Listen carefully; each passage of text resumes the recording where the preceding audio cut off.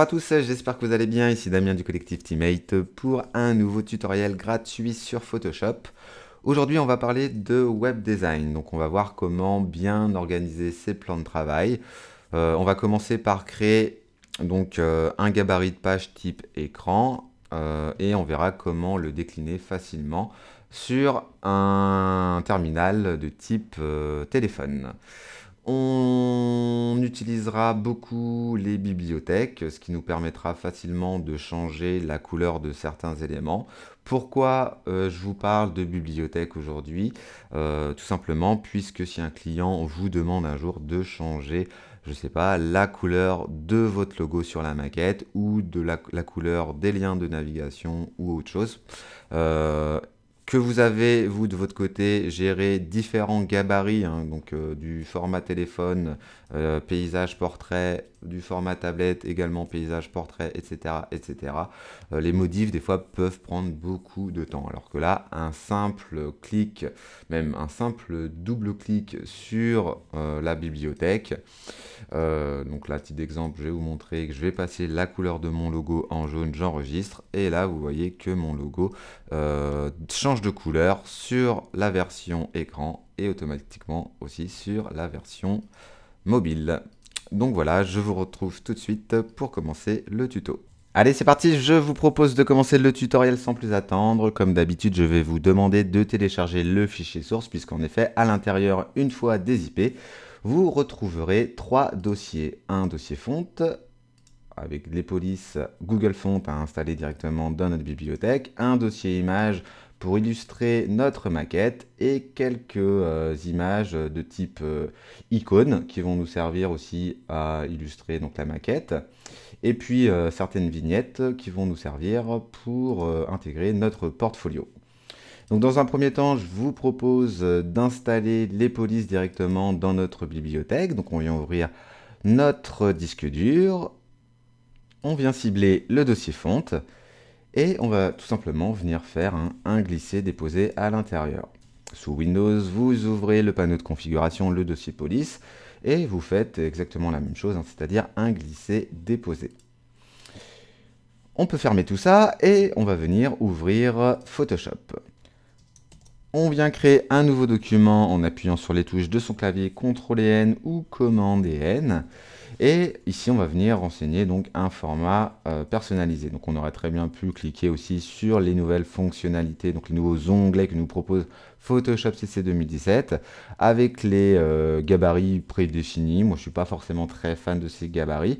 C'est pourquoi on va faire les choses à l'ancienne. Hein. On va créer ici un nouveau document de 1360 de large une hauteur de 2000 qu'on viendra réajuster en fonction de notre graphisme, résolution 72, RVB, et très important hein, de cocher la case ici plan de travail, puisque on va venir décliner notre maquette euh, type euh, gabarit écran sur par exemple un terminal du type euh, tablette ou téléphone. Donc ça on pourra faire ça grâce au plan de travail, donc très important de cocher cette case.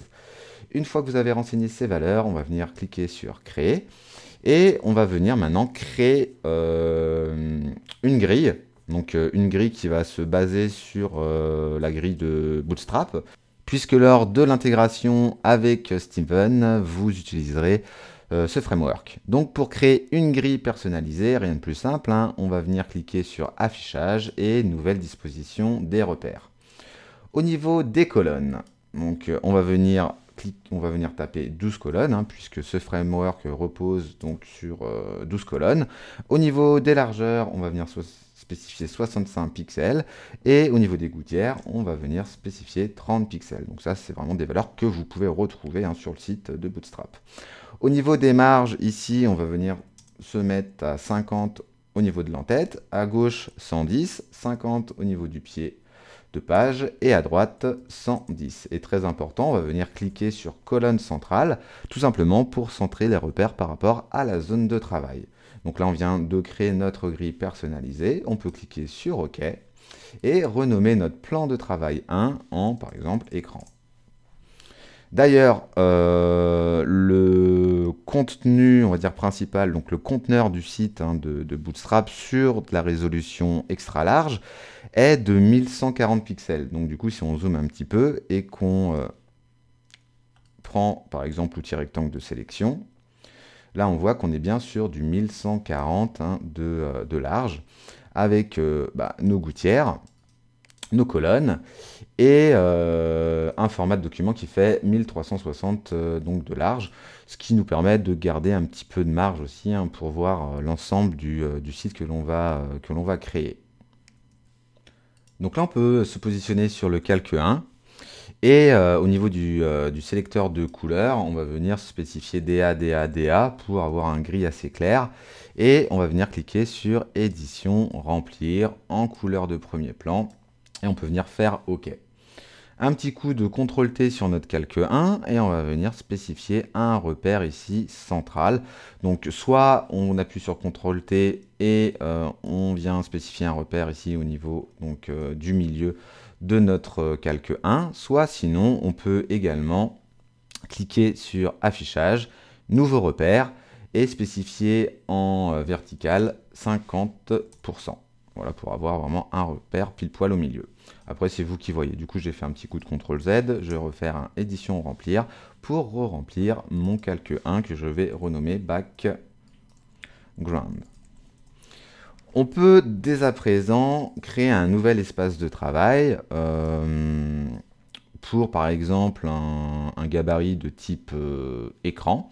Donc pour ce faire, on vient cliquer sur notre euh, espace de travail écran ici, et vous voyez qu'on a des petits plus qui viennent se positionner aux quatre coins de notre document, et ça, ça va nous permettre de créer d'autres espaces de travail. Donc je m'explique, si je clique ici sur le petit plus, la Photoshop me crée un espace de travail numéro 2. D'ailleurs, dans les propriétés ici, vous voyez que j'ai un paramètre prédéfini personnalisé qui se base hein, euh, par rapport à mon premier plan de travail. Ici, je peux très bien euh, décider de lui spécifier un paramètre euh, prédéfini hein, du type iPhone 6 Plus ou même, pour que ça soit un peu plus parlant, iPhone 5. Et là, vous voyez que euh, j'ai mon format d'iPhone à côté. Donc, il sera très facile de décliner mon graphisme que je vais créer dans mon espace de travail écran sur mon espace de travail ici, post 1, que je peux renommer, hein, si je reviens dans Calque ici, en, par exemple, iPhone 5. Et vous pourrez très facilement également hein, créer plusieurs espaces de travail en cliquant ici ou même en cliquant au-dessus. Et après, hein, en appuyant sur la touche espace, il vous sera très facile de naviguer dans vos espaces de travail. Ici, dans euh, ce tuto, euh, on va juste euh, créer un nouvel espace de travail du type ici iPhone 5 pour vous apprendre hein, à décliner une maquette web sur un, gabarit de type écran téléphone. Si vous voulez un espace de travail un petit peu plus large, hein, vous pouvez très bien donc modifier. Donc là, je suis sur le plan de travail iPhone 5 la largeur, donc par exemple vous mettre à 800, hein, et également la hauteur, hein, si vous voulez vous baser sur du, euh, j'en sais rien, 1836, là vous pouvez, vous voyez, facilement augmenter tout ça. Je vais revenir en arrière, parce que je trouve que ce gabarit est très bien, et de plus euh, repose aussi sur euh, la taille small de, de, la grille de Bootstrap, à savoir un format de 640 de large, donc là on est, on est pile poil bien. Et tant qu'on est sur notre espace de travail, de travail iPhone 5, on va venir euh, également lui spécifier des repères. Donc créer une grille personnalisée, adaptée donc à euh, un format téléphone. Pour ce faire, on va faire exactement la même chose que sur le format écran, c'est-à-dire donc on se positionne bien sur l'espace de travail iPhone 5, on vient cliquer sur affichage, nouvelle disposition des repères. Donc là, on va garder le même nombre de colonnes. Euh, au niveau de la valeur, ici, on va changer ça en 15 pixels.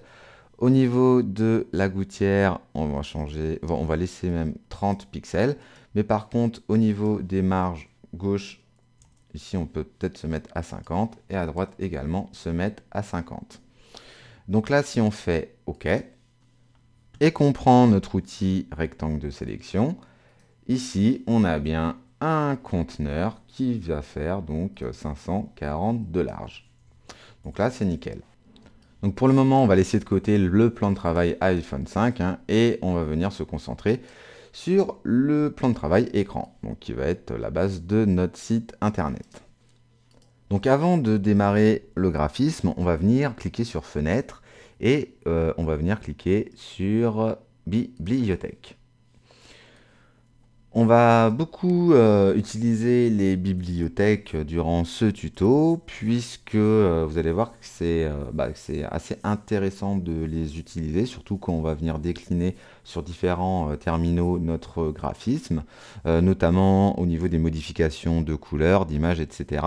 Euh, le fait d'utiliser ces bibliothèques, ça va tout simplement nous faciliter la, vie si euh, plus tard vous avez des modifs à faire. Donc euh, à savoir que des fois les modifs clients peuvent être très très pénibles. donc là on va essayer d'automatiser le plus possible les choses durant ce tuto. On va venir cliquer sur ma bibliothèque et créer tout simplement une nouvelle bibliothèque que l'on peut appeler CV Web où vous mettez bien, euh, bien sûr le titre que vous euh, voulez, et on va venir cliquer sur Créer. Donc ici, on va pouvoir venir glisser, euh, déposer des ressources. Donc des images, des icônes, des couleurs, des formes, etc. Si on retourne dans notre dossier source, vous pouvez voir que dans le dossier images, par exemple, ici, il y a deux images. Donc un portrait ainsi que euh, un paysage de nuit. On vient donc sélectionner ces deux images et on les fait glisser directement dans Photoshop. On peut reprendre notre outil ici déplacement. Voilà, donc il y a des images qui sont euh, relativement euh, grandes. C'est pas un problème. Ici, on peut renommer ça en paysage et lui en portrait.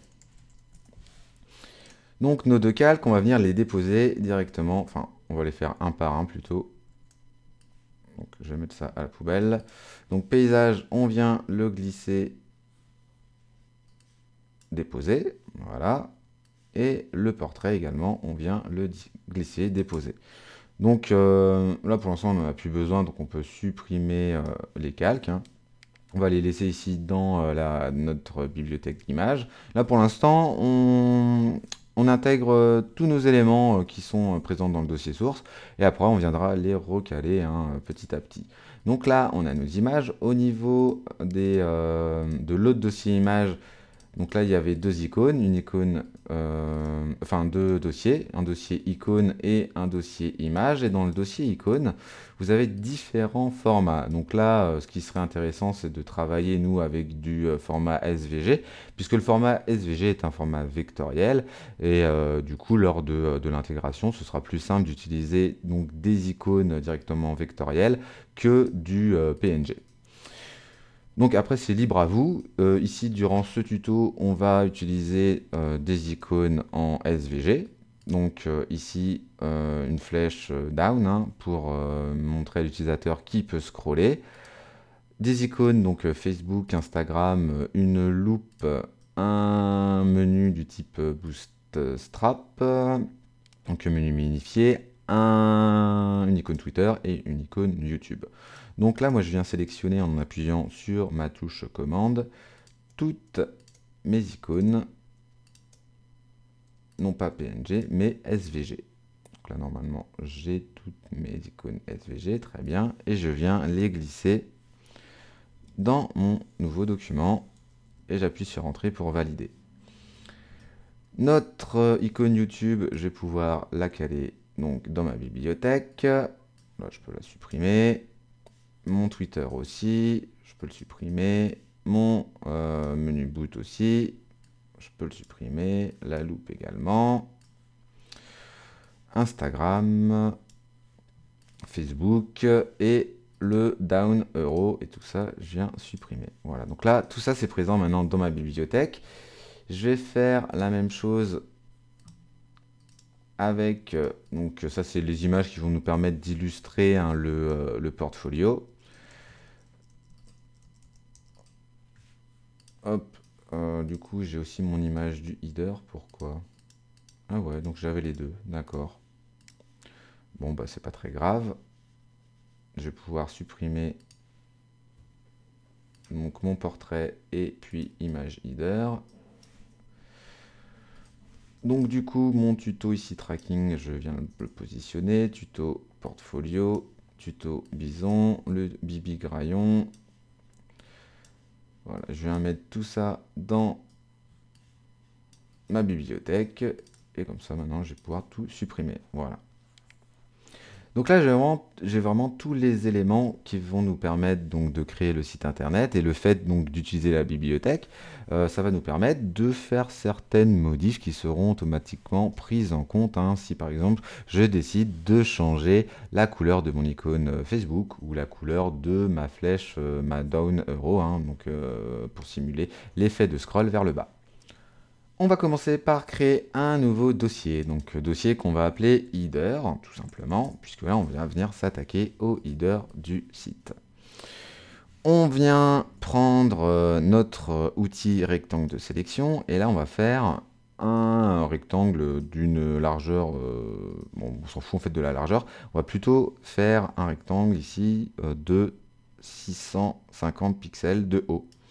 Et on va venir mettre un repère simplement ici. On aurait très bien pu également cliquer sur affichage, nouveau repère, horizontal et au niveau de sa position, mettre 650. Vous voyez, ça marche exactement de la même façon. Après, c'est des petites techniques euh, euh, qui sont euh, utiles d'apprendre, hein, mais chacun est, libre de faire un peu comme bon lui semble. Hein. Il n'y a pas de mauvaise technique. On va venir prendre notre outil rectangle et on va cliquer n'importe où sur notre document et on va spécifier des valeurs de 1360 pour, euh, puisque là on va faire le fond de notre header qui va prendre 100% de la largeur et au niveau de la hauteur on vient lui spécifier 650 hein, pour qu'il s'arrête au repère que l'on vient de créer ici euh, un petit peu plus bas. On clique sur OK, donc là pour l'instant on voit rien puisque on a une couleur qui, euh, qui est la même que notre couleur de fond. Mais si on clique dans l'onglet propriétés et sur la couleur ici et dans le sélecteur, on va pouvoir lui spécifier une couleur un peu différente au niveau de la valeur hexadécimale. On va se mettre en 28, 28, 28 et on fait OK. Et là, on va pouvoir bien se recaler comme ceci. Donc là, voilà, ça va être le fond de notre header. Au niveau euh, des calques, ici, on va pouvoir renommer tout ça. On va venir l'appeler, par exemple, BG header et on va venir l'intégrer directement dans notre bibliothèque. Donc là, on va venir le supprimer puisque euh, on va pas pouvoir le modifier, euh, enfin on pourra le modifier, mais il ne va pas s'appliquer automatiquement. Parce que là, vous voyez, il le petit nuage n'a pas été pris en compte. Donc là, je le supprime. Et si je le remets directement hop, dans mes calques et que je fais OK, là j'ai ma petite icône bibliothèque. Euh, qui simule donc le cloud. Et euh, je sais que si je modifie maintenant mon BG Leader, il pourra se modifier par exemple sur mon terminal écran. Et si je crée donc un autre euh, gabarit, donc iPhone 5, il se modifiera automatiquement dessus. Et pareil, si je crée un nouveau gabarit tablette, il se modifiera également dessus. Donc pensez bien, veillez à ce qu'il y ait toujours cette petite icône hein, de présente dans, dans vos calques. Donc bien sûr, hein, si vous utilisez les bibliothèques. On va venir récupérer dans nos images notre petit paysage. Hop, on vient l'insérer ici. On n'hésite pas à augmenter sa taille. Voilà, donc n'hésite pas non plus à dézoomer de temps en temps. On essaye de lui euh, spécifier une taille. Euh, on peut même la faire dépasser un petit peu plus. Voilà, comme ceci on essaye de positionner, euh, je sais pas, le haut du lampadaire, le haut, ça doit être un lampadaire à peu près ici. Au niveau de la marge, vous voyez que l'on a créé, donc du repère. Donc là, ça me paraît pas trop trop mal. Hein. Peut-être qu'on pourrait essayer augmenter légèrement. Voilà, on fait OK pour valider. Donc là, on a une image qui est quand même assez grande. Euh, je, vous l'accorde. Et euh, en appuyant sur la touche Alt de son clavier, et euh, si vous positionnez, votre souris, vous voyez, au niveau du bas du calque paysage et que vous cliquez, eh bien, euh, notre image va s'adapter hein, directement par rapport au format du budget header. Et ce qui va nous permettre, vous voyez, de la bouger très facilement afin de la repositionner et elle sera automatiquement tronquée. Pour y voir plus clair, hein, vous pouvez appuyer sur commande et H de temps en temps. Donc on va essayer de la positionner à peu près, à peu près comme ça. Tout de suite, ce qu'on peut venir faire, c'est au niveau du euh, calque paysage, c'est créer un masque dessus. Prendre notre outil dégradé. Et vous voyez, donner un petit coup, comme ceci, pour adoucir un petit peu euh, le haut de, euh, notre image. Et parce qu'il y avait un, petit point de lumière qui nous gênait. Et là, on va pouvoir intégrer, facilement donc, notre menu. Donc maintenant, on va venir créer une petite trame que l'on va venir insérer par-dessus euh, notre header. Donc euh, dans un tuto précédent, j'avais déjà appris à créer ce genre de trame. Si vous euh, n'êtes pas très à jour, on va voir tout de suite comment créer une trame diagonale. Pour ce faire, on va venir créer un nouveau document en appuyant sur les touches de son clavier CTRL et N. Et on va spécifier une largeur et une hauteur de 4 pixels. On décoche plan de travail si vous l'avez de cocher et on clique sur créer. Là, on appuie sur commande plus ou contrôle plus pour zoomer à fond et on va venir créer un nouveau document, enfin un nouveau calque, pardon. On va venir prendre notre outil crayon. Donc, si vous avez l'outil pinceau de sélectionner, vous restez appuyé dessus et vous cliquez sur outil crayon. Bien sûr, hein, on se met en épaisseur de 1 pixel. On se met en noir en recliquant ici sur le sélecteur, sur les petites icônes noir et blanc. Et on va venir cliquer dans le coin haut droite de notre document. On clique, on appuie sur Shift et on reclique sur le coin gauche bas. Et là, ça nous fait une diagonale parfaite. L'arrière-plan, on vient le supprimer. On vient cliquer sur Édition, euh, pardon, Édition, utiliser comme motif. Ce motif, on va venir l'appeler trame. On clique sur OK pour euh, du coup euh, valider son appellation. Et on vient tout de suite appuyer sur les touches de son, de clavier commande Alt Shift S ou CTRL Alt Shift S pour euh, enregistrer pour le web. Hein. On va directement sauvegarder cette trame pour la duplication lors de l'intégration. Donc sinon, vous pouvez également cliquer sur Fichier. Donc là, ça a dû changer avec les versions 2017 de Photoshop. Exportation, et ça doit être enregistré pour le web. Voilà. On vient l'enregistrer au format PNG 24 et on clique sur enregistrer. Là, on va venir euh, se positionner donc dans notre dossier. Donc là, CV web, image, et on va venir l'appeler tram par exemple.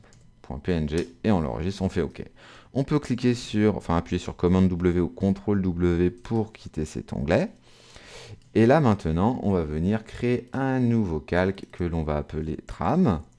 On va venir euh, appuyer sur commande et on va cliquer sur le budget header. Donc commande clic ou contrôle clic si on est sous Windows pour tout simplement le sélectionner. Vous voyez, on va maintenant appuyer sur édition. Donc on clique sur édition remplir ou shift retour, le petit raccourci clavier et on va venir cliquer sur remplir avec motif. Donc on choisit bien notre motif personnalisé et on fait OK. Et là, vous voyez que si euh, je dézoome, enfin je désélectionne en appuyant sur commande D ou CTRL D, notre petite trame vient bien de euh, s'insérer là-haut. Si vous trouvez qu'elle est un peu trop violente, vous pouvez baisser son opacité à 50. Après, c'est vous qui voyez. Moi, je vais la laisser à 100 parce que je trouve que l'effet est assez sympa. D'autant plus que euh, cet effet de trame permet de masquer les imperfections de certaines images aussi qui sont pixelisées. Donc si vous avez des images qui ne sont pas forcément très nettes, euh, vous avez plutôt intérêt d'utiliser cette petite technique. On va venir euh, réafficher les repères. On appuie sur commande H ou CTRL et H pour afficher ou masquer les repères. Et là, on va venir prendre notre outil texte.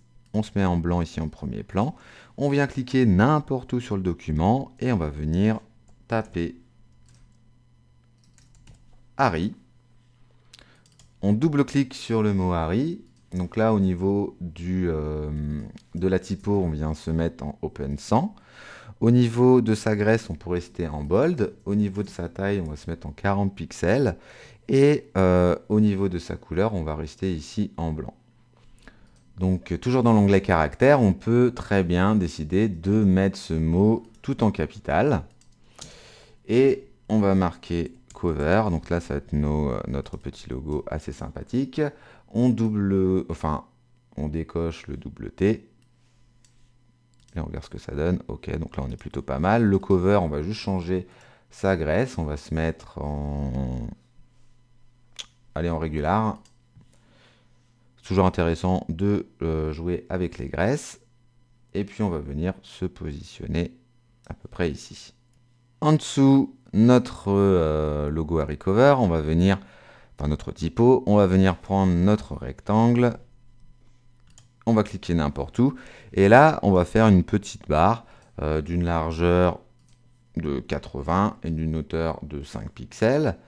On fait OK on la laisse en blanc et on va venir tout simplement souligner hein, le, euh, pas forcément euh, l'intégralité du mot Harry, mais euh, voilà, on va juste mettre une petite barre qu'on pourra venir réutiliser lors de, l'incrustation de nos titres de, de page, enfin de, de rubrique. Au niveau de la distance, donc là on peut venir par exemple se positionner, vous voyez directement en bas du H, et on vient descendre tout ça à peu près à 15 pixels. c'est peut-être trop 15 pixels. On va remonter de 5, voilà. Donc plutôt de 10 pixels. On se repositionne dans nos calques et on va venir dupliquer, on peut même renommer rectangle 1 avant, on va l'appeler barre logo. On vient dupliquer à Recover, on appuie sur Alt et Shift pour rester droit. Et là, on va venir double-cliquer sur tout ça.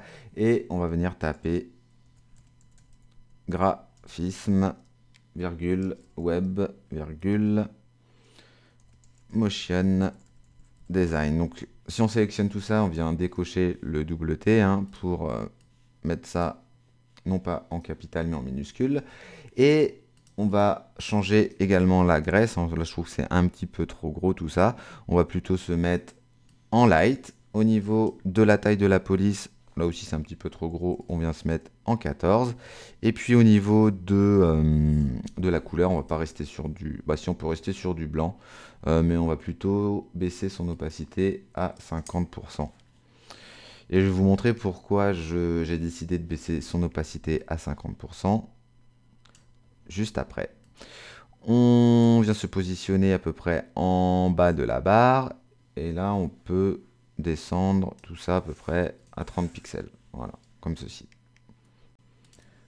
On va venir sélectionner l'ensemble des éléments qui constituent notre logo, à savoir, barre logo, graphisme, web, motion et recover.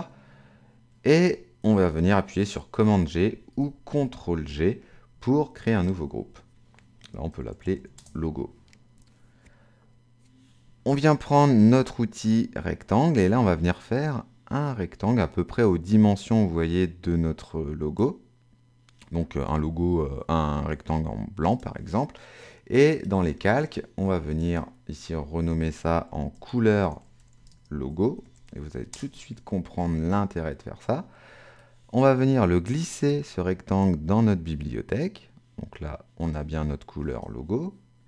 Donc lui, on peut le supprimer. On va venir le repositionner. Vous vous rappelez, là, on a notre petit nuage, donc c'est parfait. On sait qu'on est bon. On le positionne à peu près ici. Et on va venir appuyer sur Alt et on clique pour cibler le logo. Donc là, il n'y a rien qui se passe. Effectivement, puisque là on a dit euh, à Photoshop, bah voilà, je veux que mon logo en fait reprenne les propriétés de mon rectangle blanc ici que je viens de créer par-dessus. Mais si je décide de double-cliquer ici directement via ma bibliothèque sur mon couleur, euh, mon élément couleur logo, que je double-clique ici sur mon calque et que je décide de me mettre en rouge, j'appuie sur CTRL S ou Command S pour enregistrer, commande W pour quitter, vous voyez que l'intégralité de mon logo vient de passer rouge. Donc imaginez si vous euh, déclinez ce site en plusieurs formats, hein, que ce soit de la, plusieurs formats tablettes, donc portrait, paysage, plusieurs formats euh, de téléphone, et que votre client vous demande un jour, bah ouais, mais mon logo, je le veux pas blanc, mais je le veux jaune. Donc là, vous êtes euh, clairement obligé de me reprendre bah, tous vos calques sur tous vos plans de travail. Alors que là, le fait d'utiliser une bibliothèque, bah là, vous voyez, ça vous permet en un clic de tout modifier automatiquement. Je fais un petit coup de CTRL Z, hein. enfin, même pas CTRL Z, je vais revenir directement dans mon calque couleur logo. Je le réenregistre en blanc, et voilà, et bien de s'appliquer maintenant en blanc. Donc euh, c'est quelque chose vraiment d'intéressant, hein, surtout euh, quand on fait du WebD. On va pouvoir passer à la suite maintenant, et on va venir créer notre menu. Donc on vient prendre notre outil texte, et on va venir cliquer n'importe où dans notre document. Ici, on va venir euh, créer euh, à peu près 5 rubriques. On va faire une rubrique accueil. Au niveau de l'espacement, on donne 10 coups de barre d'espace. 1, 2, 3, 4, 5, 6, 7, 8, 9, 10. On vient taper à propos. 1, 2, 3, 4, 5, 6, 7, 8, 9, 10. Compétences. Si ça vous saoule de donner 10 coups de barre d'espace, vous venez copier l'espacement qui est entre à propos et compétences et vous venez le coller en faisant donc CTRL-C et CTRL-V pour coller. Expérience et réalisation. Au niveau de la taille, on vient plutôt on désélectionne, on vient plutôt se mettre en 18 pixels. Et puis on va venir se caler voilà. Par rapport donc à ce repère, on essaye de se mettre à peu près au milieu, voyez, du, du logo. Donc à la limite, on peut donner, mettre un petit coup de repère en dessous euh, de la barre du H de Harry. Et vous voyez, on essaie de se centrer à peu près comme ceci. Du coup, ce repère, hop, on peut le supprimer. Un petit coup de commande H pour voir ce que ça donne c'est pas trop mal. Donc maintenant, on va venir créer une petite barre euh, qui va s'afficher au passage de la souris sur euh, la rubrique. Donc, pour simuler ce genre de barre, on va venir créer un nouveau euh, rectangle. Donc, on clique n'importe où sur le document. Et on va venir créer un rectangle qui va faire... Allez, on va se mettre en 200 200 de large et 5 de haut. Regarde ce que ça donne. Bon, c'est peut-être un peu trop le 200.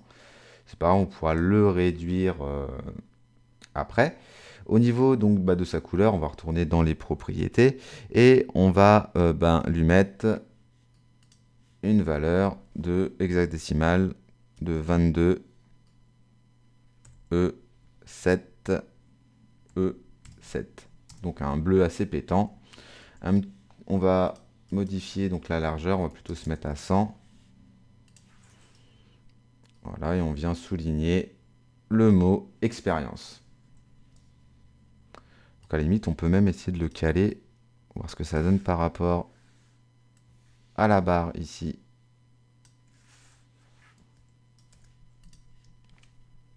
Pourquoi pas? Comme ça, on est aligné, c'est pas trop mal. Donc là, on vient de créer notre menu. Très bien. On peut renommer rectangle 1 en barre, donc menu. Et au même titre que le logo tout à l'heure, on peut prendre notre outil rectangle et tout simplement créer un rectangle aux dimensions de, euh, de notre menu. Alors ici par contre, on va se remettre en blanc. Voilà, dans les calques, on renomme tout ça en couleur menu. ou on va mettre plutôt navigation. On vient insérer ça dans notre bibliothèque. Donc là, il y a le petit nuage, donc on le supprime et on le réinsère directement via notre bibliothèque. Et voilà, on le cale à peu près ici. On appuie sur Alt, on cible, non pas barre, menu, pardon, mais là on le met juste en dessous et on cible accueil, à propos, etc. Si bien que là, si un jour mon client dit bah non en fait mon menu je veux qu'il soit toujours jaune, j'appuie sur OK, j'enregistre Et là, mon menu devient automatiquement jaune. Donc du coup, là, je vais me remettre en blanc. J'appuie sur CTRL S ou Command S pour enregistrer. Et Command W pour quitter cet onglet. Là, il va nous rester un petit titre à insérer, donc euh, qui viendra s'animer à l'aide euh, de jQuery. On prend notre outil, euh, notre outil texte, pardon. on peut se placer ici au-dessus de barre menu. Hop, on clique n'importe où et on va venir taper « Je suis un agitateur ». On va mettre l'ensemble de ce groupe de mots en capital, donc on vient cliquer sur le double T. Au niveau de la taille de la typo, on se met en 50, histoire que ce soit un petit peu plus euh, imposant. Euh, on reste en light juste pour le je suis et le un agitateur. On va mettre tout ça en un petit peu plus, euh, un peu plus gras. On peut peut-être se mettre en semi-bold. Voilà, ça me paraît pas trop mal. On peut réafficher les repères en faisant commande et H, appuyer sur CTRL T et se centrer, vous voyez, par rapport au repère du milieu que l'on avait inséré tout à l'heure. Donc on regarde si on est à peu près bien centré. Là, je pense qu'on est, euh, qu'on est bien. On va venir rajouter maintenant une petite icône. Donc euh, le scroll down qui se trouve dans notre bibliothèque, qui se trouve d'ailleurs euh, down euro. C'est celle-là, point. Donc là, c'est une icône que j'ai récupérée qui est gratuite sur Internet et qui est, est blanche. Vous allez voir si je l'insère l'intègre ici, hop, elle est blanche, et elle est peut-être un petit peu grosse, euh, donc du coup on peut venir déjà la réduire en appuyant sur Alt et Shift pour réduire tout ça en son milieu, et euh, on peut peut-être essayer de se mettre euh, en 75 dans un premier temps, on pourra la réduire hein, au besoin tout à l'heure. Au pire on va pouvoir la réduire un petit peu, plutôt la mettre à 65, voilà je crois qu'elle était un petit peu trop grosse. Donc là, tout ça, c'est en blanc. Euh, moi, j'aimerais plutôt la, bah, modifier sa couleur. Donc encore une fois, hein, euh, au lieu de double-cliquer dessus et de lui mettre une incrustation de couleur, on va double-cliquer sur le doneeuro.svg et euh, pour la modifier directement via Illustrator. Une fois que votre document est ouvert, donc là l'icône ne se voit pas forcément puisqu'on est sur du blanc sur blanc, mais vous pouvez facilement, vous voyez, la sélectionner avec l'outil flèche blanche et euh, si vous euh, double-cliquez sur le secteur de couleur, vous pouvez renseigner une valeur hexadécimale de F4 800, ce qui va nous donner un orange assez pétant. Et du coup, on va pouvoir euh, appuyer sur commande S ou, CTRL, ou S pour enregistrer tout ça. Donc si on revient, vous voyez, dans Photoshop, donc la couleur a bien été prise en compte.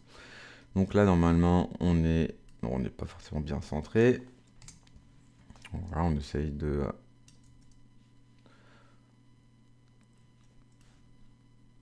On peut la baisser un petit peu plus, comme ceci.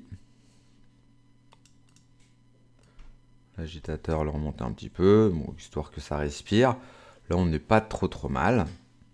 Donc voilà, pour l'instant, on va euh, s'arrêter là pour le euh, header. Et là, l'idée, c'est, euh, ce sera de créer en, jQuery une petite animation hein, de, euh, de l'icône euh, Down. Voilà, quelque chose à peu près de comme ça. Donc en gros, si j'enlève les repères, une icône ici qui sera en 100%, qui va venir se décaler vers le bas en opacité 0 ou 10% et qui va remonter pour inciter l'utilisateur à scroller vers le bas. Voilà pour la petite, euh, les petites infos. Euh, là, on s'arrête là sur le header. Donc, euh, du coup, on va pouvoir hop, ranger tout ça dans header. Je pensais que c'était rangé, pas du tout. On rappuie sur la petite flèche pour masquer notre header. Et là, on va pouvoir s'attaquer donc plutôt au contenu de la page. Donc, on peut créer un nouveau dossier qu'on appelle contenu. On peut réafficher les repères en appuyant sur commande H. On prend notre outil rectangle de sélection. On fait un rectangle de 100 pixels de haut, à peu près comme ceci, pour positionner un repère. Donc on va faire partir notre contenu à partir de ce repère. On peut prendre notre outil texte et puis taper à propos. Donc le à propos, on vient se mettre en open 100, on se met en extra bold en 35 pixels, donc on vient le positionner à ce niveau. Voilà. Au niveau de la couleur, on vient se mettre en 28, 28, 28. Donc on reste dans notre code couleur. Et puis on va venir, si on est feignant, faire un clic droit sur barre logo. Un petit coup de CTRL J pour le dupliquer. Et puis on vient le positionner juste au-dessus donc euh, de à propos dans le dossier contenu. On peut appuyer sur Shift, on le fait descendre. Donc on appuie sur Shift hein, pour, euh, pour rester droit. Et au niveau donc de sa couleur, on va changer tout ça. On va plutôt se mettre en orange. Donc on se met en F, F4, 8, 0, 0. Ok, donc là, si on ne se rappelle plus de l'espacement, on peut donner un petit coup ici de euh, rectangle de sélection. Là, on voit qu'on est à 10 pixels de haut. Donc du coup, on peut décaler ça de 10 pixels vers le bas. 1, 2, 3, 4, 5, je remonte. Voilà. On reprend notre euh, outil texte. Puis là, on peut carrément faire un, rectangle de sélection, si on le souhaite, comme ceci. Au niveau du paragraphe, on vient se positionner, donc se caler à gauche, et on va venir taper. Donc on va reprendre tout simplement le, euh, titre du site, hein. Harry Cover. Donc le Harry, on va le laisser en extra bold. Le cover, on va plutôt le mettre en semi. Semi-bold.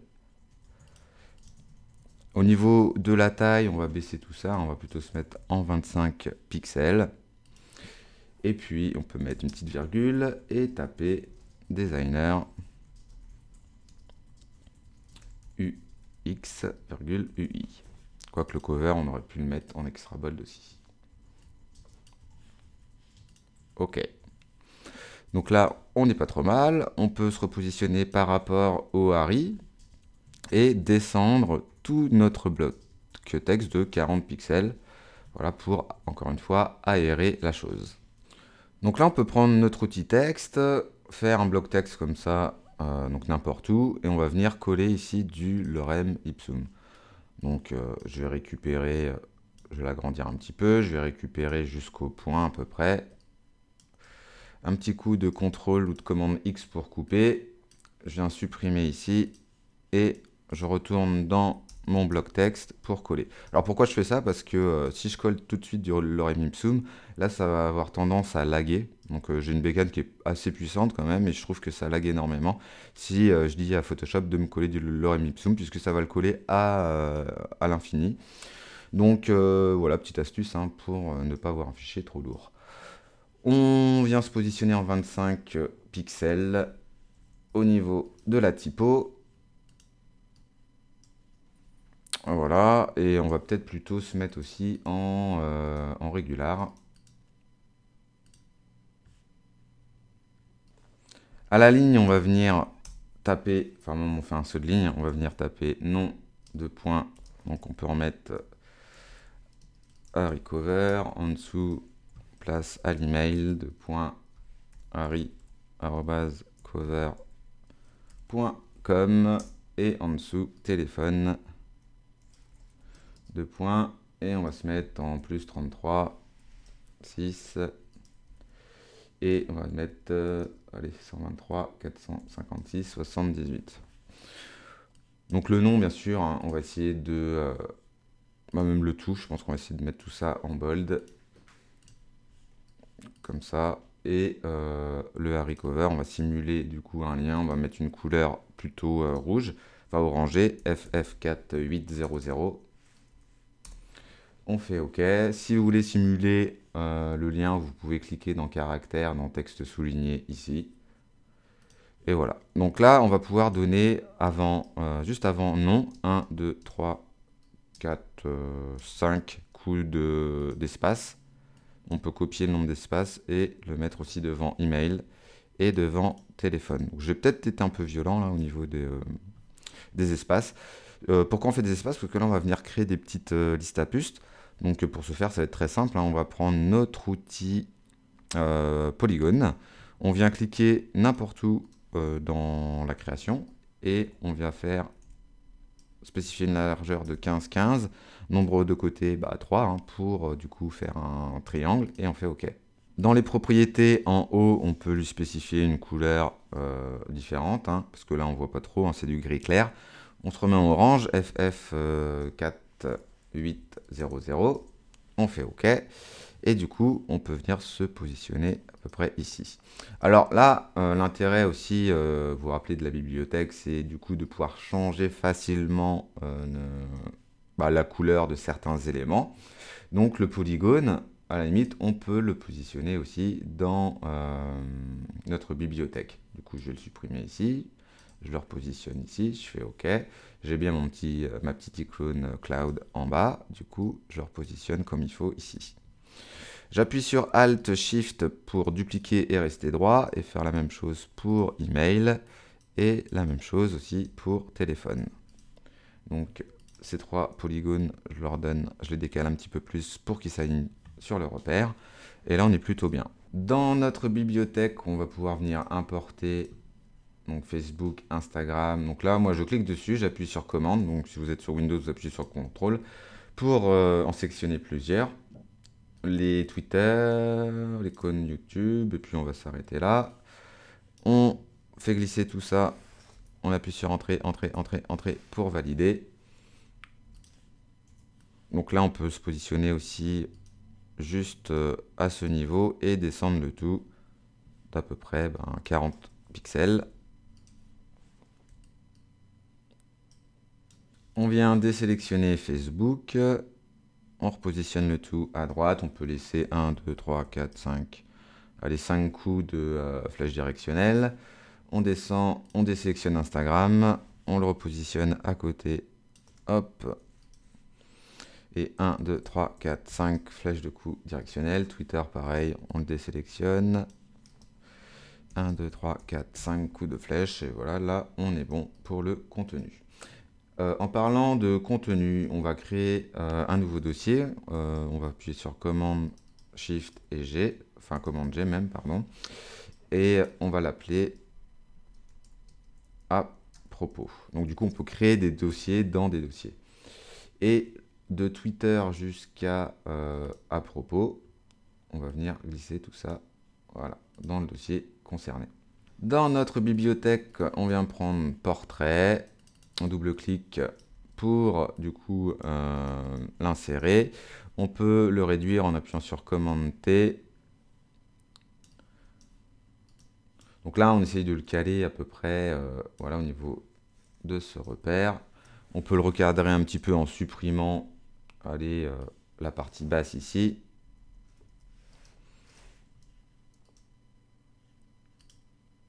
Du coup, on peut double-cliquer même sur portrait. On fait continuer. On va le resizer, hop, comme ceci. CTRL S, on fait OK. CTRL W pour quitter tout ça. CTRL D pour désélectionner. Et du coup, le portrait, on vient le remonter un peu plus haut. Avant de le passer en mode produit, si j'ai oublié, on crée un, on se positionne sur le bas de l'icône de Facebook, à peu près. Hein. Voilà, on fait un rectangle avec l'outil rectangle de sélection de 100 de haut. On place un repère ici. On peut même placer un repère juste ici pour pouvoir bien caler notre image.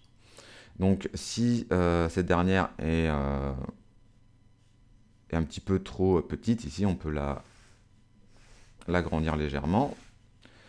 On modifie son mode de fusion, on va se mettre en obscurcir, voilà pour qu'elle s'intègre bien dans le visuel. Et voilà, on regarde ce que ça donne, ben, ma foi, c'est pas trop mal comme ça.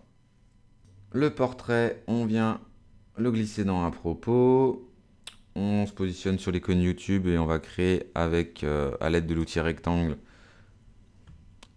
un nouveau rectangle qui va faire, vous voyez, toute la surface du contenu, enfin du contenu à propos. Au niveau de la couleur, ici on va se mettre en F3, F3, F3. On fait OK, donc là on est plutôt sur quelque chose d'assez clair. Et voilà, et on va pouvoir maintenant du coup passer au reste. Donc euh, on va passer maintenant aux compétences. Donc on peut retourner dans les calques. Ça, on peut l'appeler par exemple euh, BG pour background à propos. La petite flèche, pour fermer tout ça, on crée un nouveau dossier qu'on va appeler compétences. On appuie sur commande H. On va recréer du coup un nouveau repère donc à 100 pixels, donc outil rectangle de sélection. On crée un nouveau repère et on va venir taper. Oh, déjà, ce qu'on peut venir faire, c'est prendre l'outil rectangle ici et créer un rectangle à peu près. voilà, euh, pour l'instant, on s'en fout un peu de, la hauteur. On va venir changer son fond. La hauteur, on viendra la réadapter en fonction du contenu que l'on va insérer. On va se mettre en 28, 28, 28 au niveau du fond et on fait OK. On vient prendre notre outil texte, on clique n'importe où et on tape mes compétences en 35 pixels extra bold. Hop, je fais une petite faute. Hop, à la ligne. On peut donner deux, euh, deux petits retours à la ligne. On va venir taper. Euh, on va même prendre, du faux texte. Voilà, à peu près pour cette phrase. Donc on vient dessus, on vient coller tout ça. Un petit coup de CTRL A pour tout sélectionner, on recentre. Et au niveau du comment de la couleur, on va changer déjà tout ça. Ici, on est en combien?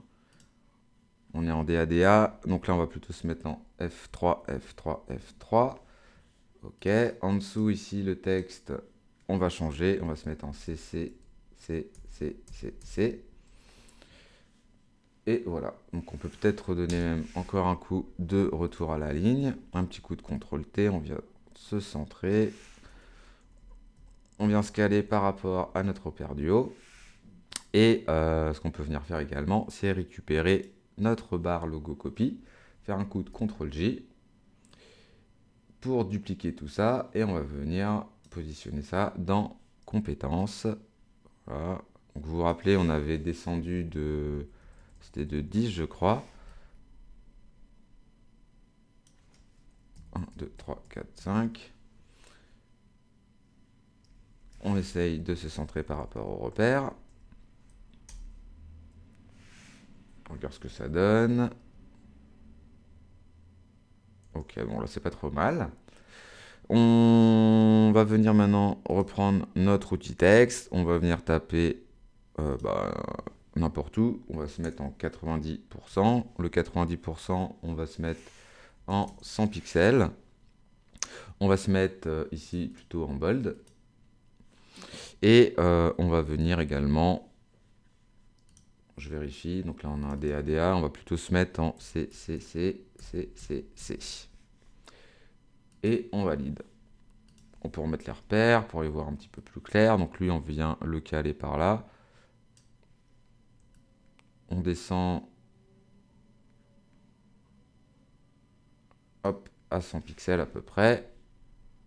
On se cale au niveau du repère.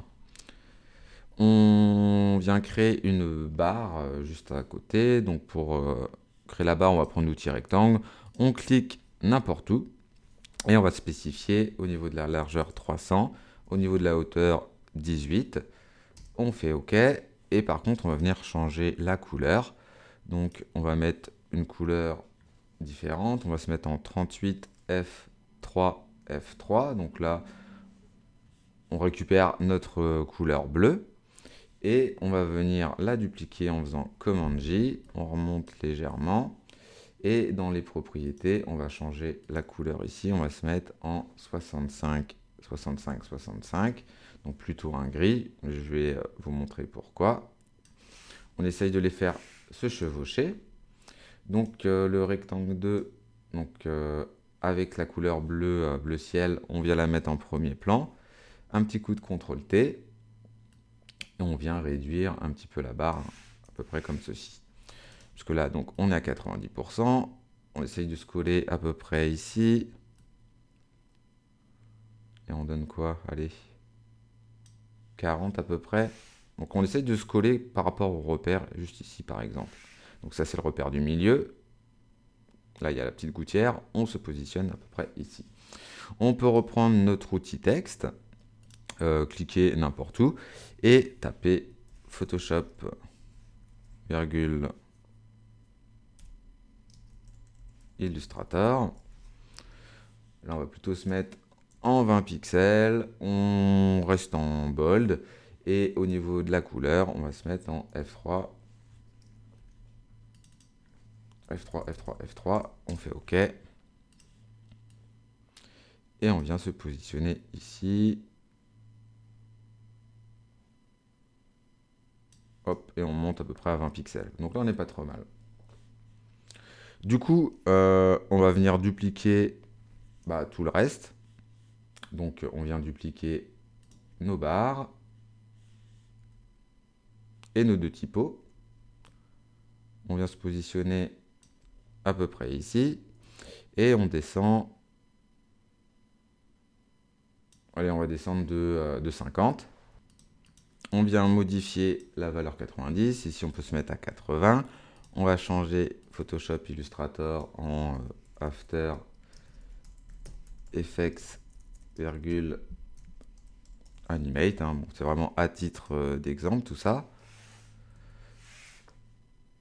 Du coup, notre barre bleue, on peut cliquer dessus, CTRL T, on réduit tout ça un petit peu plus. Donc là, vous voyez, on va arriver en bas de, notre document, donc euh, c'est un peu embêtant. Donc on peut remonter tout là-haut, cliquer sur écran, Hop, et du coup, dans euh, les propriétés, c'est augmenter la hauteur de notre document. Donc là, on peut peut-être se mettre à 4000, histoire d'être tranquille. Ok, donc là, on est bon, c'est parfait. On peut zoomer un petit peu plus, reprendre notre outil rectangle de sélection, et là, on va tout de suite faire un repère à 100, à partir du bas du mot 80. Ce repère, du coup, je vais le supprimer. Et je fais un clic droit sur mon rectangle 1 ici, que je peux renommer, hein, si je veux, en BG fond, ou en BG euh, mes compétences. Un petit CTRL T dessus, je positionne mon repère là. Et là, du coup, on n'est pas trop mal. Donc lui, mon background, hein, je peux aussi hop, l'augmenter, quoique peut-être qu'on pourra même le supprimer tout à l'heure. Il n'est pas forcément euh, comment nécessaire.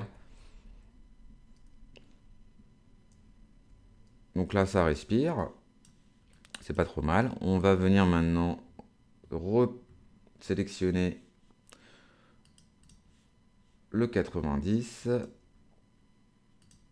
le rectangle 2 et le Photoshop. On met les repères, on appuie sur Alt et Shift pour rester droit, on vient se positionner ici. Le 90%, allez, on va le changer en 95. Ici, on va changer Photoshop Illustrator, on va se mettre en HTML 5. Un petit coup de contrôle A, on va changer, on va se recaler à gauche comme ça, ce sera plus simple.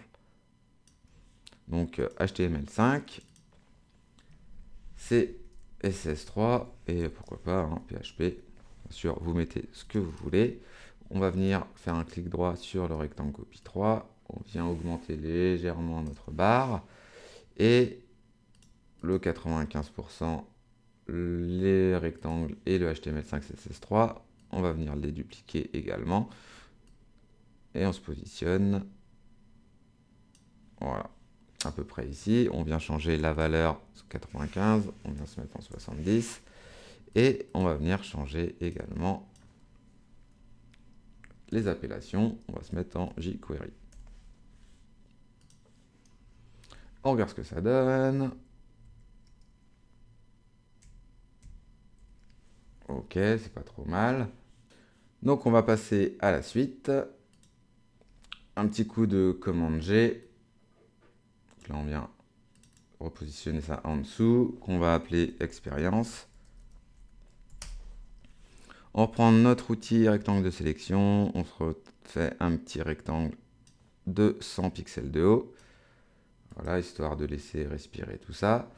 On va venir prendre notre outil rectangle, dézoomer un petit peu, et on va refaire un rectangle.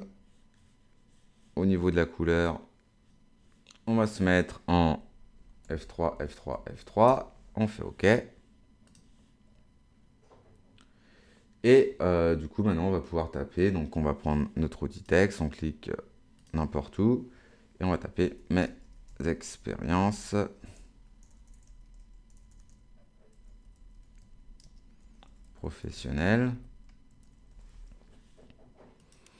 Donc, euh, on va reprendre exactement euh, le même,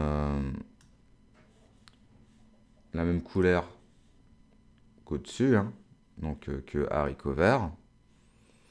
Donc dans couleur, on clique dessus, on va se mettre en 28, 28, 28. Au niveau de la taille, on va plutôt se mettre en 35 pixels. Voilà. On essaye de se centrer, comme ceci. On vient reprendre la barre logo copie, donc clic droit dessus, on retourne dans les calques, un petit coup de commande J pour la dupliquer et on va venir la positionner dans expérience. Hop, on se recale par rapport au P. On descend, donc, on avait dit de 10 pixels, donc 1, 2, 3, 4, 5, ok. On vient prendre notre outil rectangle, donc là on se positionne à partir du deuxième repère jusqu'à euh, la gouttière ici, donc juste avant le repère du milieu donc juste ici. Au niveau de, euh, bah, de la hauteur, on va la définir en fonction du contenu hein, que l'on va insérer. Donc on peut essayer de se mettre en, à peu près en 330 pour le moment. Au niveau de la couleur, eh bien on va se mettre en 28, 28, 28. Ok, et on va se repositionner par rapport à notre petite barre orange ici. Et on va descendre le tout de 50 pixels. Tant qu'on y est, on vient refaire un deuxième carré de 175 par 70.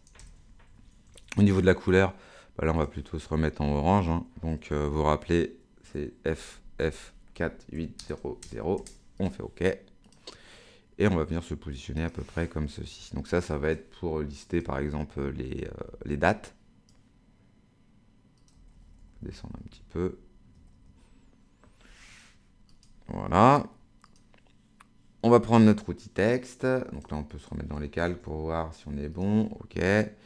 On clique n'importe où et on va venir taper le nom de l'agence. Donc là, ça va être Danse avec Mireille. Donc le Danse avec Mireille, on va plutôt se mettre en 25 pixels. Au niveau de la couleur, on se met en blanc. Et euh, au niveau de l'interlignage, on va se mettre en 25 puisqu'on va pouvoir rajouter une petite phrase en dessous. Donc pour l'instant, on cale le danse avec Mireille à peu près ici. Voilà, et donc à la ligne, on va venir taper préparation du café pour les collègues.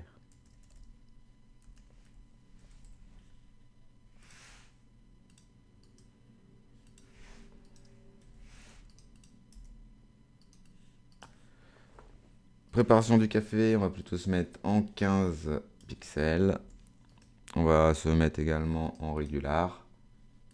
Et au niveau de la couleur, on va se mettre en 8D. Pardon, je refais 8D, 8D, 8D. Ok, dans paragraphe, on vient se justifier. Donc on sectionne tout, on vient se justifier à droite. Comme ça, ce sera plus simple. Et là, on n'est pas trop mal. On peut, si on le souhaite, euh, rajouter une petite puce ici. Donc les puces sont présentes dans notre bibliothèque. on vient l'insérer ici. Et donc notre polygone et euh, notre calque ici, on peut essayer peut-être de les descendre. Voilà, on se dit 10 pixels ou 15. 1, 2, 3, 4, 5, ça me paraît un peu mieux. Donc c'est pas mal, on va pouvoir maintenant sélectionner du lorem ipsum. Donc on peut reprendre celui-là, CTRL C pour copier, on redescend un peu plus bas. On raffiche les repères.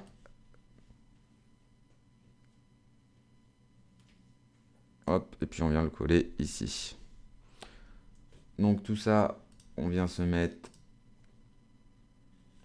au niveau de la couleur en C, C, C, C, C, C. Au niveau de la taille, on va augmenter, on va peut-être diminuer là, on va se mettre en 18. Et euh, au niveau de l'interlignage, on va rester en 30. au niveau du paragraphe, là, on se met, euh, on peut même se justifier si on le souhaite, comme ceci sera un petit peu plus propre. Hop, le danse avec Mireille, j'ai bien envie de le décaler un petit peu. Donc danse avec Mireille plus mon polygone. À peu près comme ceci. Et lui, on va à peu près le mettre ici, comme ça.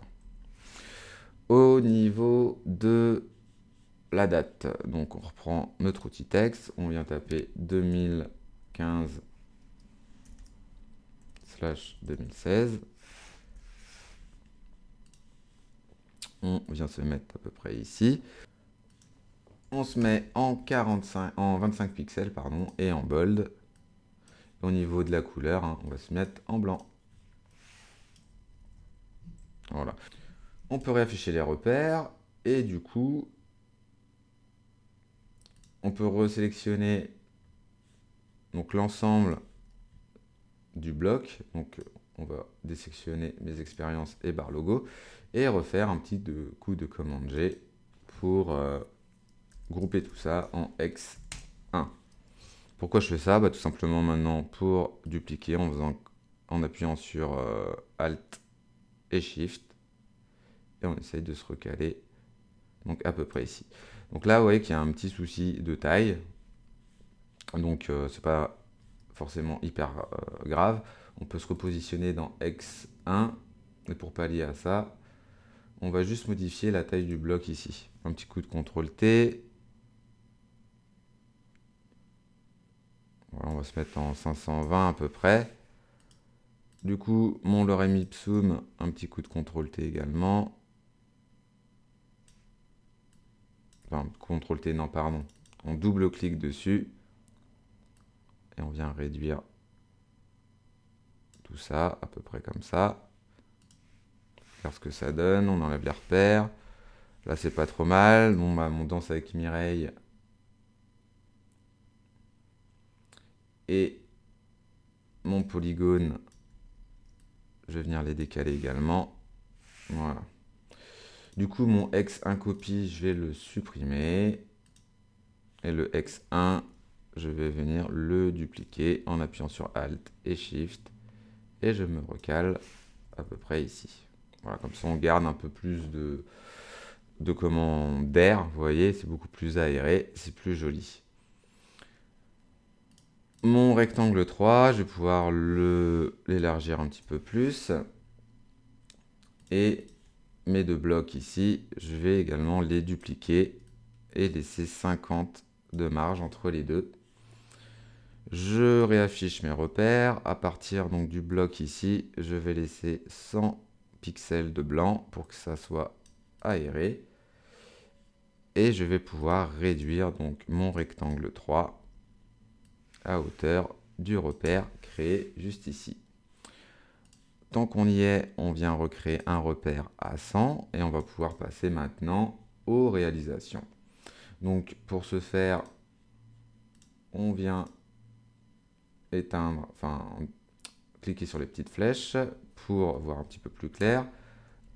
On appuie sur commande G.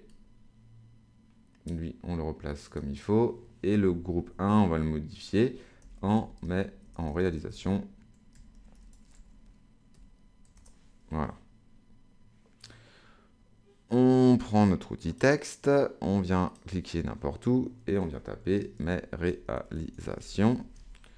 On se met donc en 35 pixels. Au niveau de la couleur, on va se mettre en 28, 28, 28 au niveau de la valeur hexadécimale. Et on se met ici en extra bold. On vient se centrer par rapport au repère du milieu. Voilà. On peut resélectionner la petite barre ici de logo, commande J, et on la replace dans mes réalisations. On appuie sur Shift et on vient descendre tout ça de 10. On peut même descendre un peu plus. Voilà, comme ça, sinon ça fait un peu bizarre. Ok, donc à partir de là, on va pouvoir créer un nouveau repère. On va peut-être pouvoir copier, euh, insérer une petite ligne aussi. Du coup, on se met en centré. Voilà. Et en dessous, on va venir taper une sélection de quelques créations réalisées en milieu professionnel. par contre, tout ça, on va venir modifier tout ça. On va se mettre en régular, en 20 pixels. Et on essaye de se centrer, comme ceci. Peut-être plutôt se mettre en 25 pixels.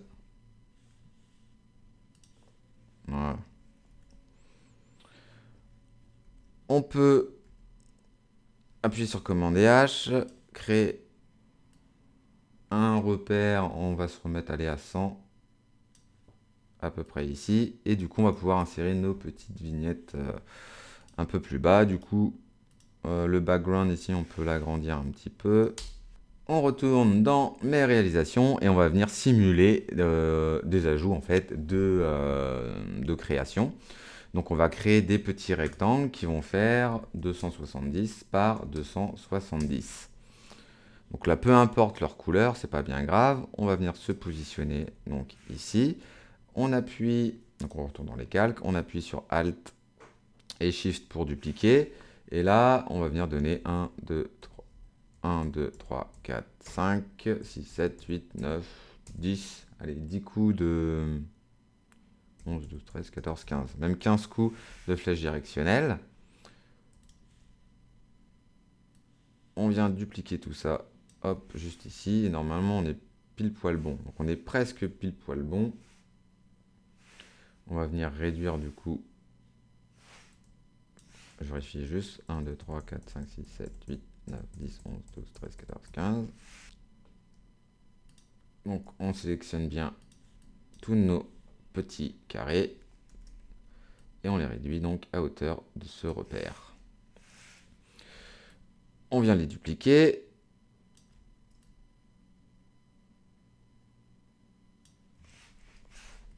Voilà. Donc là on est à peu près bon. Notre BG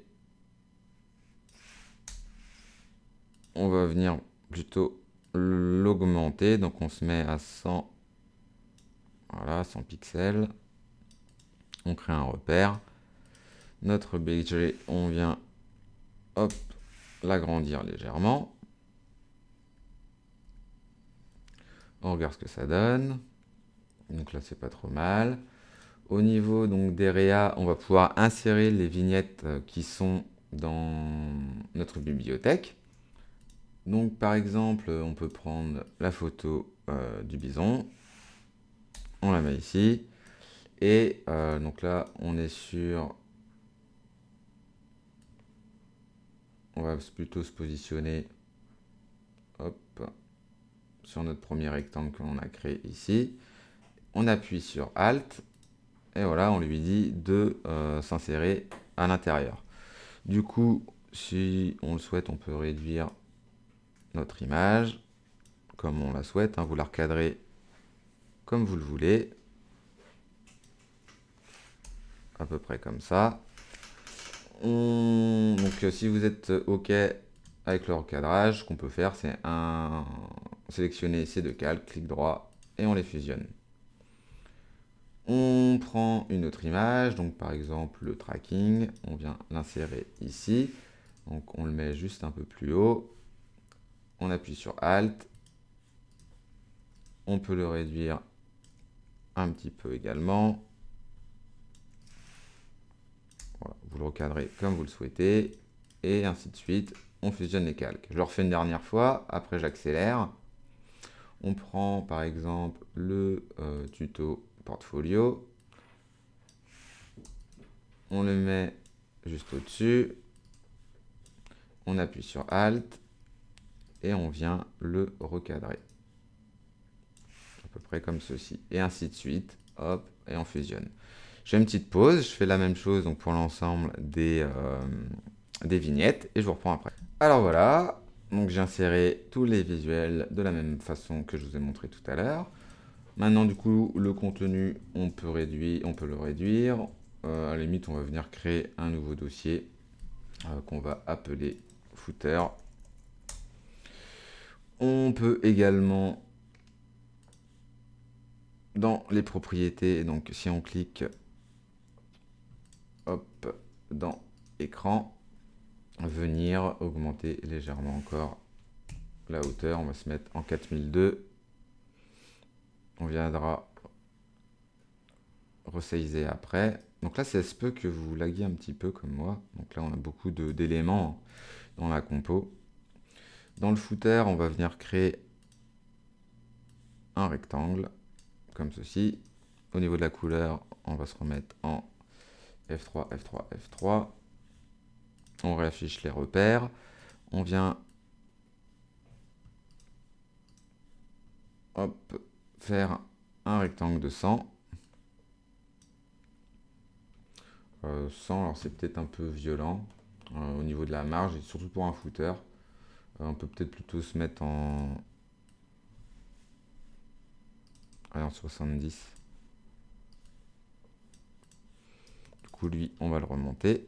On prend notre outil texte, on clique un peu plus haut ici sur le document, et on va venir taper copyright.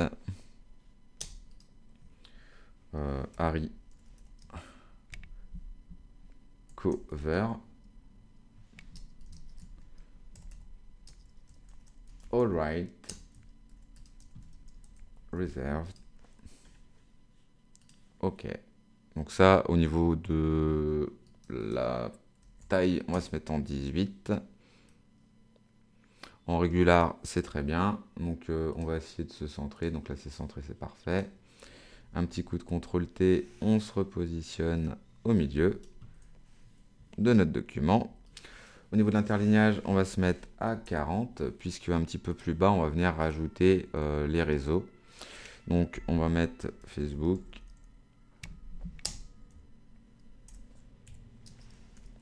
Twitter. Et puis hein, on va mettre Instagram. Et tout ça, on va se mettre en...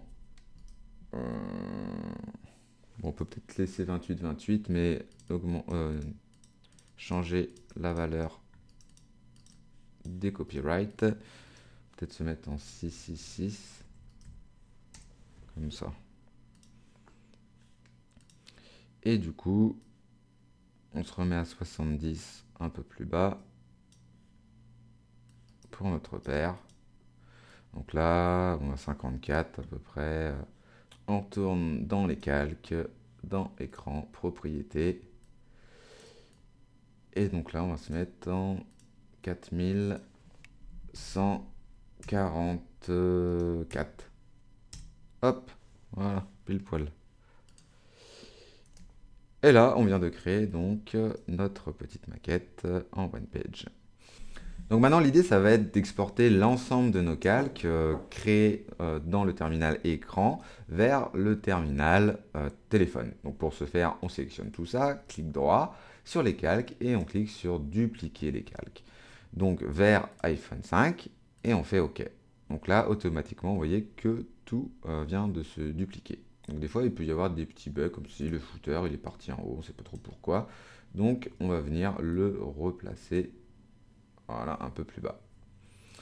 Alors bien sûr, on va voir des petits problèmes euh, de taille.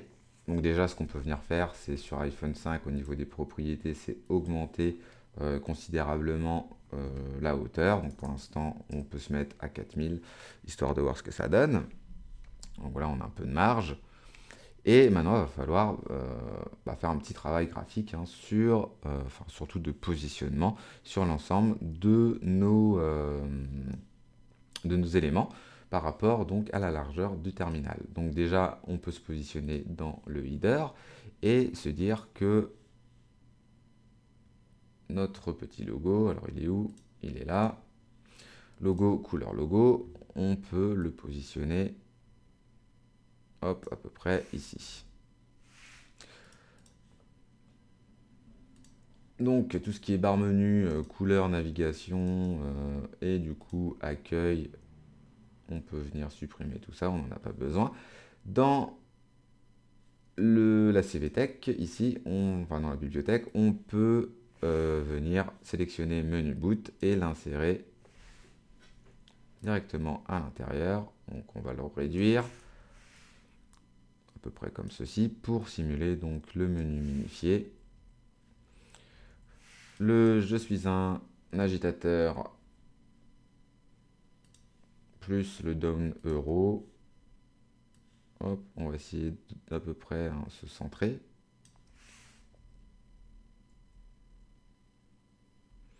Comme ceci. On peut remonter légèrement le tout. Et par contre, le BG header, plus le paysage. Hein. On va essayer de remonter tout ça.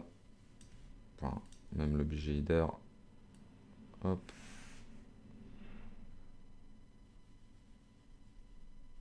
On va se mettre à peu près ici. Donc là d'ailleurs j'ai mon footer qui, euh, qui est positionné ici, je sais pas trop pourquoi. On va venir le descendre. Hop, un petit peu plus bas. Voilà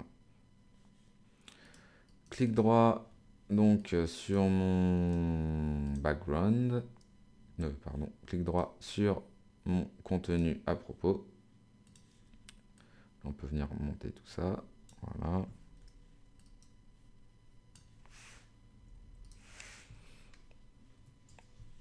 Donc là on est, euh, je pense qu'on est bien. Au niveau donc du texte,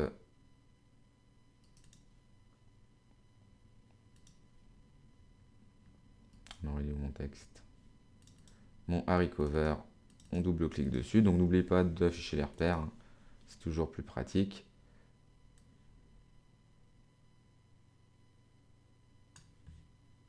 On va venir élargir tout ça.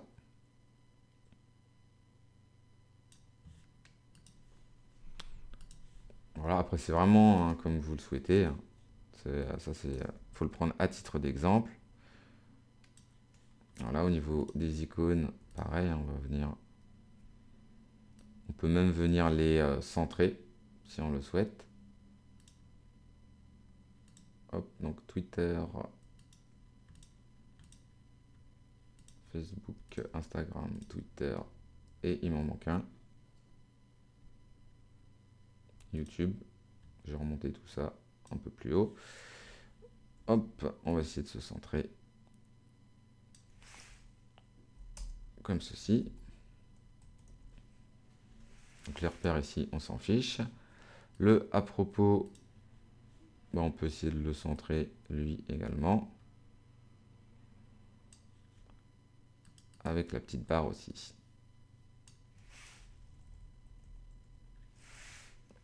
Puisque là sur téléphone, on est plutôt sur de la lecture donc linéaire. Donc euh, c'est plus, euh, on va dire, ergo de, euh, de, centrer, les choses. Et ainsi de suite, hein, pour du coup le compétence, on peut le remonter jusqu'ici. Hop, mes compétences, on vient centrer tout ça. Et du coup, le 90%, le Photoshop et les deux barres, on va venir également les centrer. Donc là, c'est à peu près pile poil la même dimension, ça tombe bien. Et on fait pareil hein, avec le 80%, l'After Effects et les deux barres.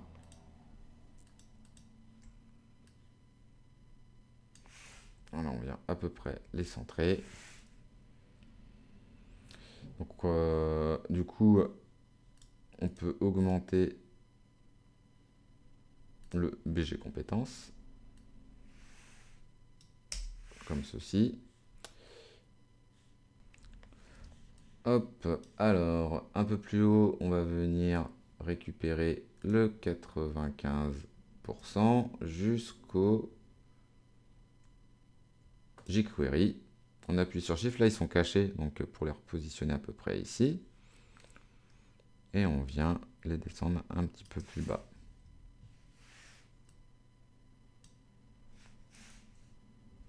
Hop, on descend tout ça. Et du coup, le BG, on va pouvoir le rétrécir un petit peu.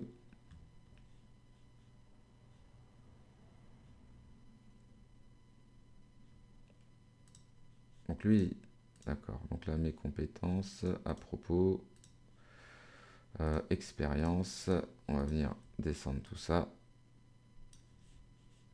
On peut refaire un petit repère ici à 100 à peu près. Et voilà, augmenter légèrement mes expériences. Alors ce qui se passe, euh, c'est que des fois, il y a des petits bugs. Donc là, vous voyez, il faut recaler les choses. Donc le 95% et tout, ça va être dans compétences. Ok. Notre footer, on va le descendre un peu plus bas encore.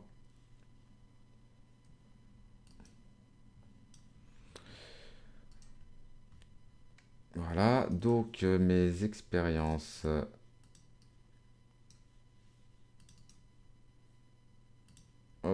Tout ça, on vient recentrer.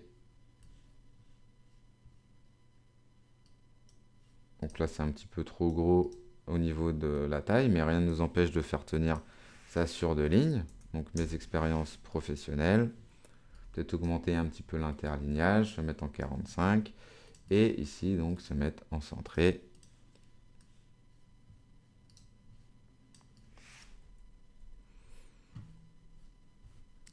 Ma petite barre, je la descends un peu plus bas. Et tous les blocs, ils sont à peu près en plus de la même taille, c'est parfait. Donc je vais juste prendre le bloc 1. Mon bloc 2, je vais le recaler. Vous voyez, des fois il sort. Donc je recale ici. On peut se laisser à peu près 40 hein, de marge, ou peut-être pas non 25.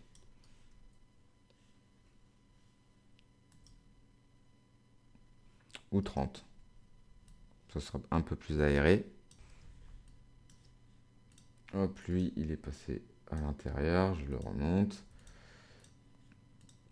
Ok. Ok, lui, euh, je l'ai supprimé parce qu'il m'embête. Et voilà, ainsi de suite. Hein. vous, pouvez, euh, pourrez en mettre 4, 5, 6, enfin autant d'expériences que vous avez. Et après, bah, du coup, euh, les réalisations.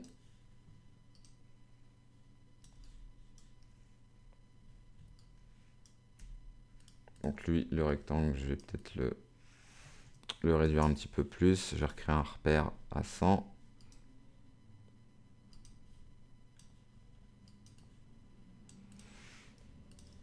Ok, et lui, je l'augmente légèrement. Donc euh, les réalisations, je vais venir les décaler.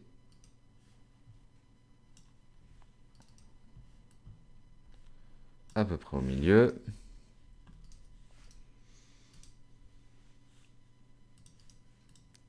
Lui, je vais le couper. Hein. Donc là, on était à 25 au niveau de la taille de la police. Je vais mettre 35 au niveau de l'interlignage. Et puis, ben, toutes nos images ici, on va venir ben, modifier tout ça parce que c'est pas très, euh, pas très esthétique.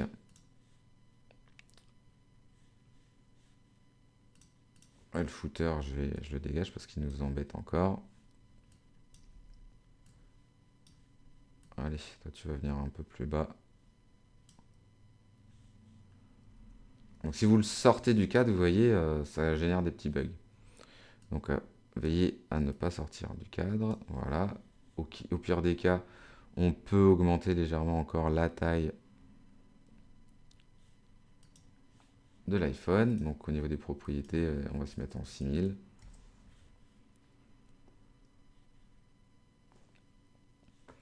Si bien que mon footer, je vais pouvoir le remettre un petit peu plus bas.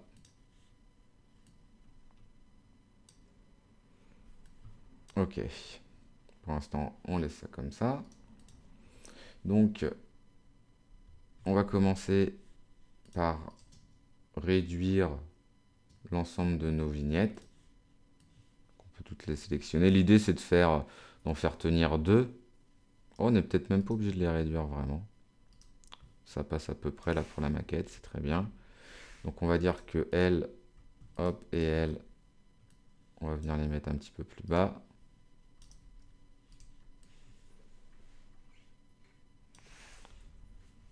Voilà, comme ceci, hein. c'est vraiment donc pour simuler. Et il va nous manquer donc le CV. Non, il est là.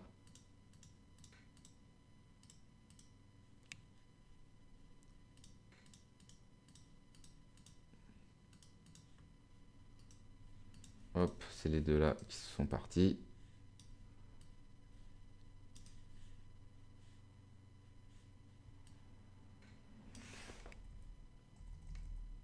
Voilà, on les remet à peu près ici.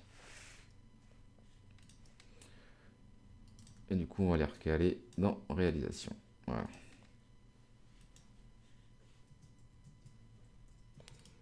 Le BG, on va l'augmenter légèrement. On prend notre outil rectangle, on se fait un petit, euh, un petit repère à 100. Pardon, hop.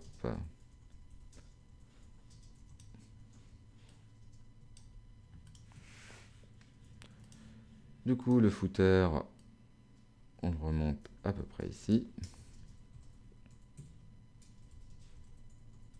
Euh, non, pardon, on va le mettre ici.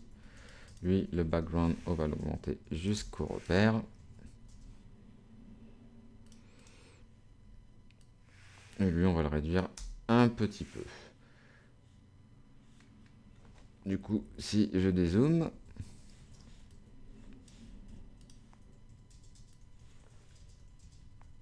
hop, on est à peu près à 4718 de hauteur, ce qui va me permettre de recliquer ici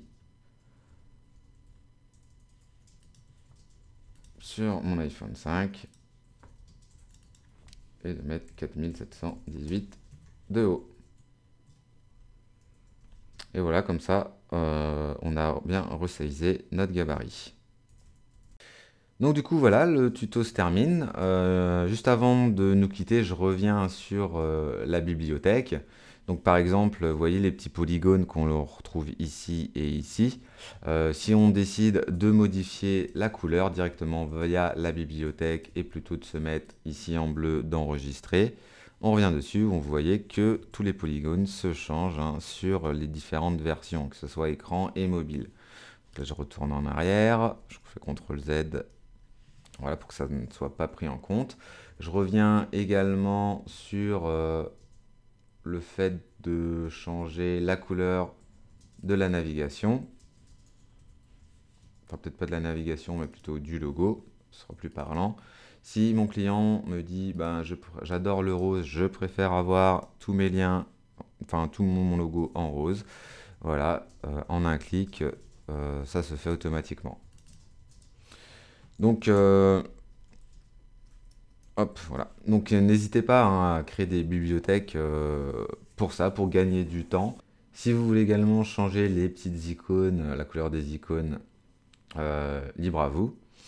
vous avez plus qu'à double-cliquer dessus et donc là c'est du format SVG donc Illustrator va s'ouvrir hein, et vous pourrez modifier tout ça ainsi que pareil le menu minifié etc.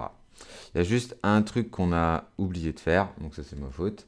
J'ai euh, oublié de simuler le hover au niveau des images euh, des réalisations. Donc on peut le faire ensemble, hein. on peut faire un truc vraiment très euh, très très rapide. Se repositionner donc dans contenu réalisation et créer un nouveau rectangle donc on va se mettre par exemple ici. On va même faire un petit carré.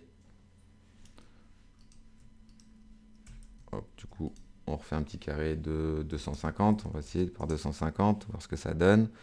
On va plutôt se mettre en blanc. Et on va baisser l'opacité de ce calque. Donc je me remets dans réalisation.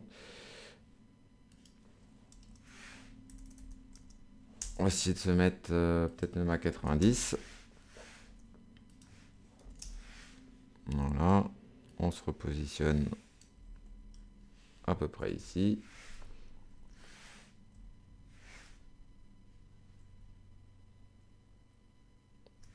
Hop. Version est à peu près bon. Ok, on est à peu près bon. Et euh, vous vous rappelez, on avait mis une petite loupe ici que l'on peut insérer du coup dans la compo. Après, si vous voulez changer de couleur, libre à vous également. Donc là, je suis à peu près centré. On reprend notre outil texte et on vient taper nom du projet en open 100, non pas regular, mais on peut se mettre en bold et en 28-28. Peut-être se mettre en 20 pixels au niveau de la taille. Donc voilà, nom du projet. Espace, euh, espace retour à la ligne. Et puis là, on peut mettre le nom, par exemple, de l'agence. Hein. On va mettre agence tout risque. Et Kevin à côté, il me fait euh, signe de la main comme quoi il est content de ce petit nom. Et oui, c'est beau hein Kevin? Tu peux le dire, merci. Ça me fait plaisir. D'ailleurs, si vous avez d'autres idées, de petits noms comme ça, pour les prochains tutos, je suis preneur. On adore ça, UIA. Alors ça, on va se mettre en 15 pixels au niveau de la taille. On va se mettre en régular. Et puis, euh, on va peut-être plutôt se mettre en 14. Voilà. On va baisser l'interlignage à 25. Allez, à 30 on essaye de se centrer à peu près, quitte à remonter aussi également un peu la loupe. Et voilà. Et là, on peut enregistrer, on a tout fini. On refait un petit check pour voir si on n'a rien oublié. Normalement, c'est pas trop mal. Donc bah voilà, j'espère que vous avez apprécié ce tuto. En tout cas, moi j'ai pris plaisir à le faire. Euh, la prochaine étape, du coup, ça va être l'intégration avec euh, Steven, que vous retrouverez euh, très prochainement. Si vous avez aimé, n'hésitez pas à bah, liker la vidéo, à laisser un petit commentaire. Et j'espère vous retrouver très très vite pour un prochain tutoriel. A bientôt